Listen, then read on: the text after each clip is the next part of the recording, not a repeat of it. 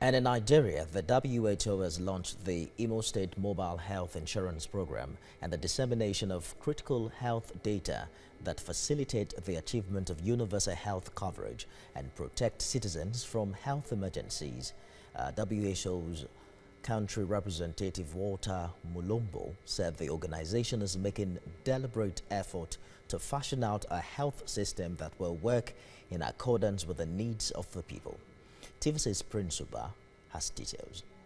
Over the years, the WHO in Nigeria has enjoyed a very productive working relationship in the health sector with the Imo State government. This mutual relationship is reflected in the contributions of the organization's staff members in the state in areas of disease surveillance and response, routine immunization, polio and non-polio supplemental immunization activities, tuberculosis elimination, malaria and non-communicable diseases. In 2018, the State government and WHO began an evidence-based health financing reform which has now given birth to the state health insurance scheme with the aim of bringing health services closer to the 5.4 million people of the state. The event of this day further demonstrates the impact of WHO support to Imo State people.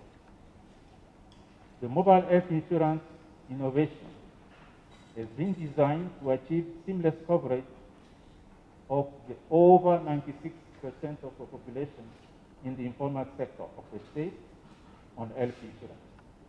We have the privilege enrolling in the program. The Imo State Governor expressed commitment to deepen the collaboration for the overall interest of the citizens. We are committed to the partnership with WHO. We are very, very appreciative, not only for the role they've played in our state, but for the global role WHO has played in managing COVID-19 pandemic. We are committed in Imo State as a government to ensure that we bring about a robust health system that will guarantee good health for all our citizens in the nearest future.